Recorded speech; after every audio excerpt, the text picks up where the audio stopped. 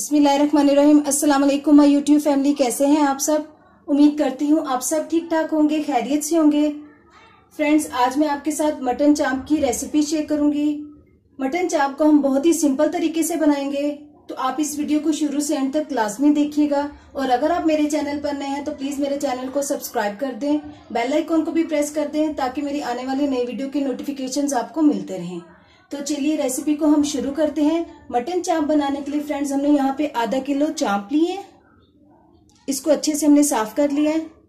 दो medium size के प्याज लिए और इसका हमने पेस्ट बना लिया है। दो बड़े साइज़ के टमाटर, उसका भी हमने पेस्ट बना लिया है।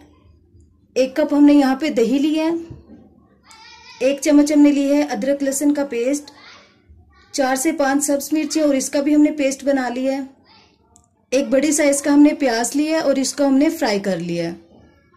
एक चम्मच हमने यहाँ पे नमक लिया है। एक चम्मच हमने लिया है लाल मिर्ची पाउडर। आधी चम्मच हमने लिया है धनिया पाउडर। आधी चम्मच हमने यहाँ पे हल्दी ली है। और हमने यहाँ पे गरम मसाला लिया है, साबुत गरम मसाला। और आधी चम्मच हमने यहाँ पे लिया है कुटी हुई लाल मिर्चें। तो चलिए इसको हम बनाना शुरू करते हैं। फ्रेंड सबसे पहले हमने एक बर्तन में एक कप ऑयल डाल दी है। ऑयल गरम हो गया। इसमें हम डालेंगे गरम मसाला। बिस्मिल्लाहिर्रहमानिर्रहीम। कुछ सेकंड के लिए हम इसको फ्राई करेंगे।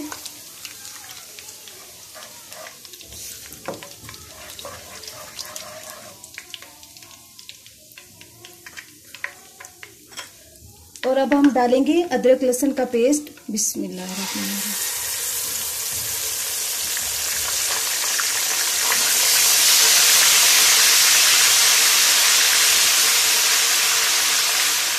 अदरक लहसुन के पेस्ट को हमने एक मिनट के लिए भून लिया है। अब हम इसमें डालेंगे चाप बिस्मिल्लाहिर्रहमानिर्रहीम।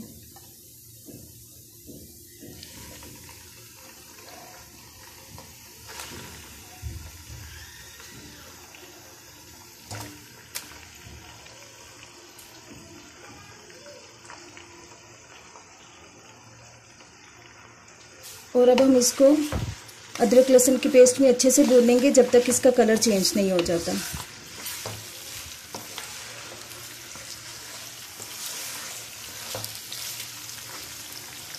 दस मिनट तक हमने मटन को अच्छे से भून लिया है और देखिए इसका कलर भी चेंज हो गया। है अब हम इसमें डालेंगे प्याज का पेस्ट। बिस्मिल्लाहिर्रहमानिर्रहीम। और साथ ही हम टमाटर का पेस्ट भी डाल देंगे। बिस्मिल्लाहिर्रहमानिर्रहीम। अच्छे से हम मिक्स करेंगे।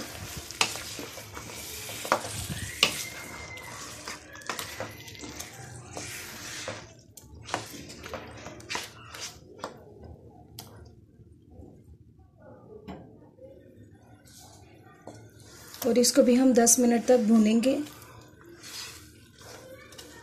अब हम इसमें ऐड करेंगे सब्ज मिर्चों का पेस्ट बिस्मिल्लाह।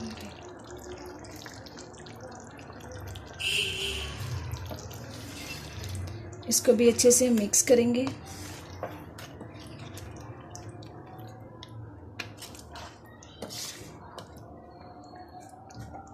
और पाँच मिनट तक हम इसको कवर कर देंगे।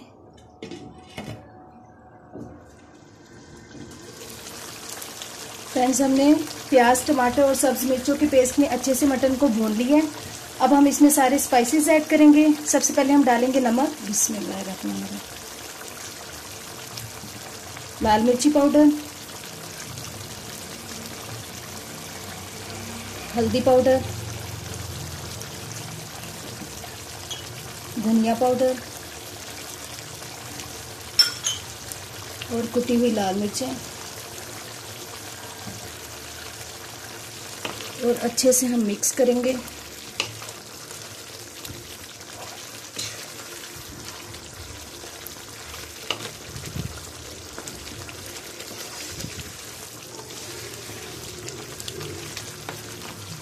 सारे स्पाइसेस को फ्रेंड्स हमने मटन में अच्छे से भून लिए।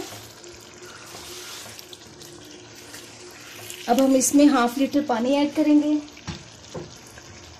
बिस्मिल्लाहिर्रहमानिर्रहीम।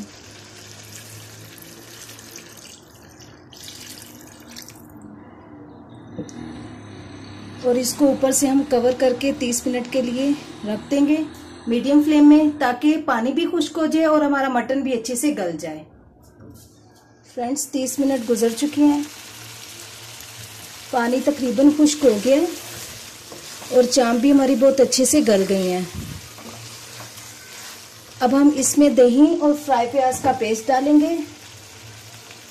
हमने दही में फ्राई प्याज को मिक्स करके ब्लेंड कर लिए अब हम इसमें ऐड करेंगे। बिस्मिल्लाहिर्रहमानिर्रहीम।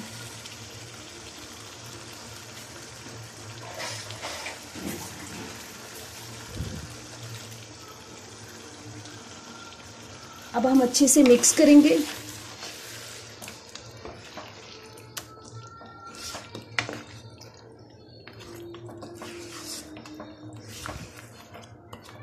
अब हम पाँच मिनट के लिए इसको दोबारा से कवर करके पकाएँगे।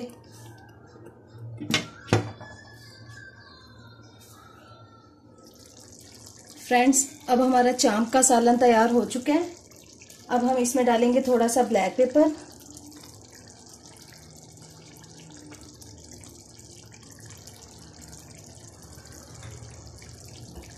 और मिक्स करेंगे।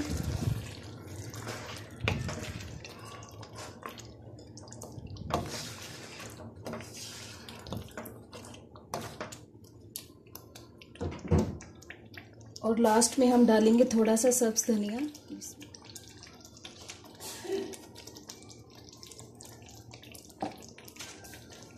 अब हम इसे डिश आउट करेंगे। फ्रेंड्स अब हमारा मटन चाप का सालन बिल्कुल रेडी है। अगर आपको मेरी ये रेसिपी अच्छी लगी है तो प्लीज़ इसे लाइक और शेयर करना मत भूलिएगा। और कमेंट सेक्शन में मुझे बताइएगा कि आपको मेरी ये रेसिपी कैसी लगी। इनशाला मिलेंगे नेक्स्ट वीडियो में। तब तक के लिए अल्लाह हाफिज़, अपना ख्याल रखिएगा।